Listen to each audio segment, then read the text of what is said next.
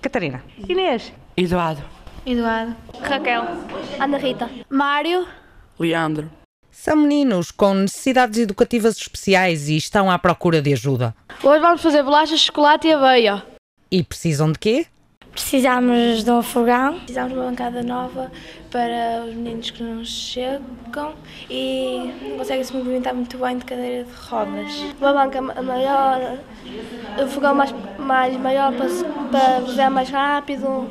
Nós precisamos de um forno, de uma banca, temos de ter a cozinha nova.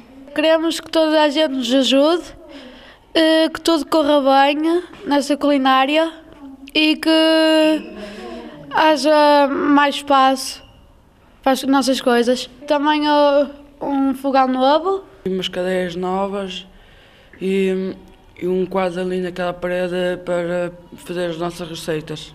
Têm aulas na EB23 de Beiris com as professoras Gracinda Cadilha, Adélia Pacheco e Olga Almeida, no antigo bar do ginásio, transformado agora em cozinha pedagógica. Aulas diferentes, onde a fazer bolachas e crepes ou a tratar da horta vão treinando a leitura, a escrita, a matemática e outras competências básicas que no futuro lhes permitirão ser autónomos e ter um emprego. Eles integram as suas turmas, nós temos aqui alunos entre os 11 e os 15 anos, uh, estão integrados desde o 5 até o 9 ano, em turmas regulares, uh, frequentam uh, cerca de 30 a 40% das aulas com a turma, e os restantes, uh, as restantes aulas são, são enquadradas no âmbito da educação especial. Ou seja, nós criamos disciplinas, portanto, estes alunos são alunos de um currículo específico, nós criamos disciplinas, e a culinária que a nossa cozinha, a nossa horta, o yoga, o bóssia, uh, o inglês funcional, são disciplinas português e matemática funcional que nós criamos para complementar o horário em que o resto da turma está nas disciplinas teóricas. Portanto, estes meninos cumprem uma, uma carga horária semelhante aos seus colegas de turma. Só que na, nas horas em que os colegas de turma estão nas disciplinas mais teóricas, eles estão nestas disciplinas eh, adaptadas dentro, no âmbito do seu currículo específico. São especiais, mas as diferenças para tantos outros meninos acabam na designação da turma. Agora precisam de uma cozinha inclusiva que lhes permita continuarem todos juntos a misturar os ingredientes e a avançar nos seus projetos.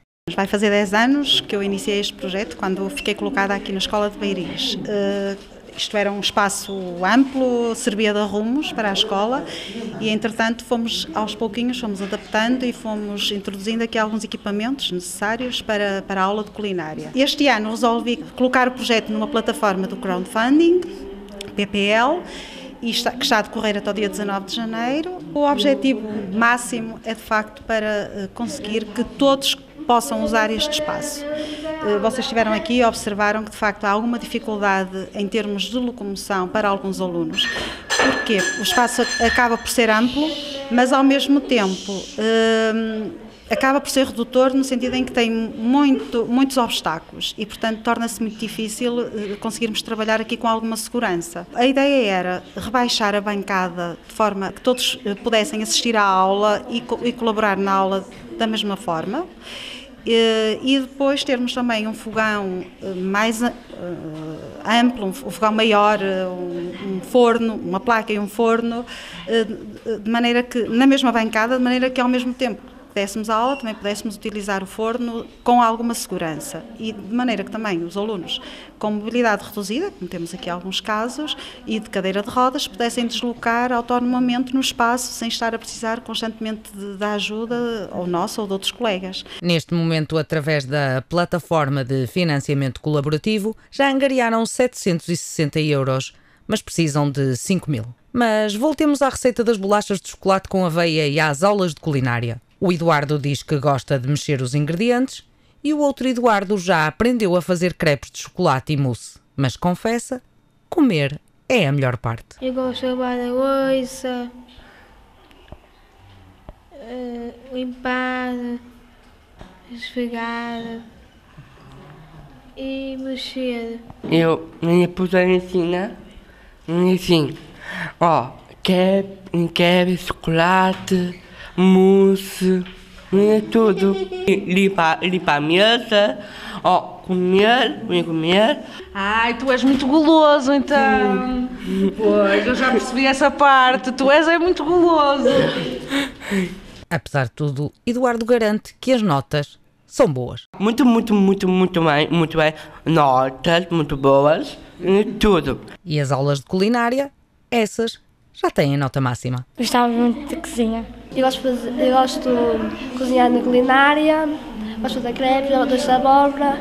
Gosto, adoro e principalmente também tal como as professoras são umas ótimas professoras que nós sempre tivemos. E enquanto esperam por uma ajuda que torne real a nova cozinha inclusiva, continuam a sonhar bem alto. Eu gosto de gás plantas, da iota.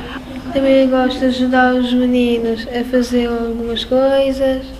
Vou ser uh, educadora de infância. Estou a tirar um curso na Animar, eh, estou a ajudar eh, eles a tratar dos cães, gosto muito de animais também e gosto de ajudar as pessoas.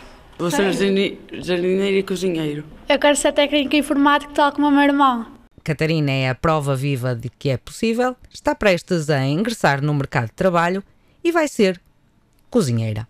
Que eu agora vou, vou para um restaurante eh, ajudar eh, a limpar, a lavar, eh, aprender a fazer mu- muitas coisas. Vou ver se, se aquilo corre bem e se, se, se podemos, se eu posso continuar depois lá, se posso depois cozinhar lá e fazer a, a comida para as pessoas, aprender a fazer a comida, as sobremesas, tartes, As bolachas de chocolate e aveia estão prontas, é tempo de deixarmos beiris, mas não sem antes lhe deixarmos o apelo dos nossos pequenos sonhadores, porque as bolachas de aveia garantimos são uma delícia e merecem continuar a ser feitas todos os dias. O segredo é interajuda, amor e muitos abracinhos. Colaborem para a nossa cozinha!